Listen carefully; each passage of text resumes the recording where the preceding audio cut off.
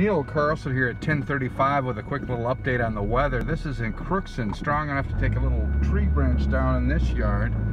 Show you took down a tree here uh, just down around the corner.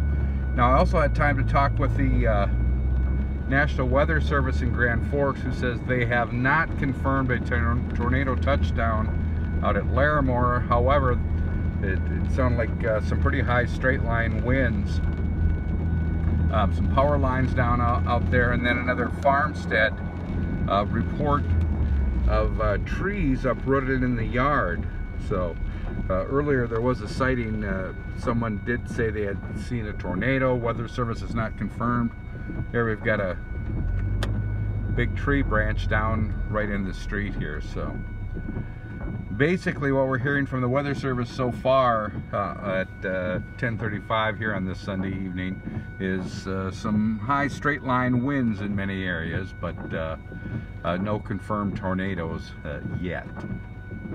Covering the Northern Valley, I'm Neil Carlson reporting for iNewZ.TV.